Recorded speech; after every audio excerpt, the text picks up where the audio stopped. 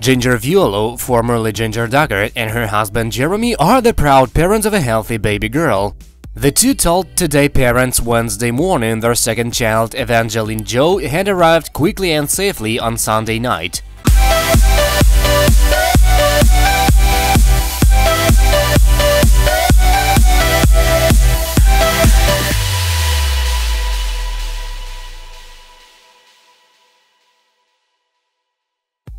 We've got good news, they said in an exclusive statement to Today Parents.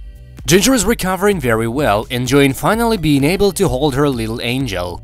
They said Evangeline means good news and Jo is in honor of Jeremy's middle name, Joseph.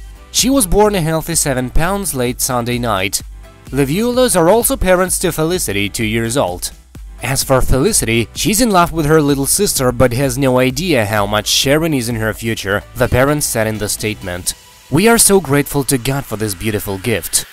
Jinger Vuolo has said previously she was excited to have two girls.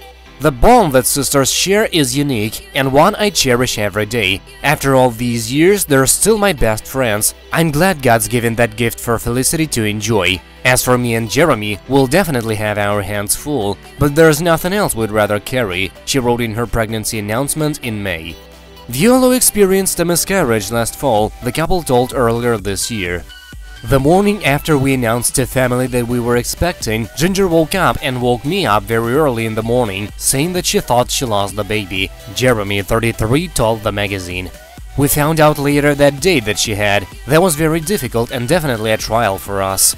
Jinger is the sixth child of Jim Bob and Michelle Duggar, stars of TLC's 19 Kids and Counting. She's also one of the stars of the TLC reality series Counting On. She married Jeremy, a former soccer pro, in November 2016. That's it for now, thank you for watching, please subscribe to stay tuned.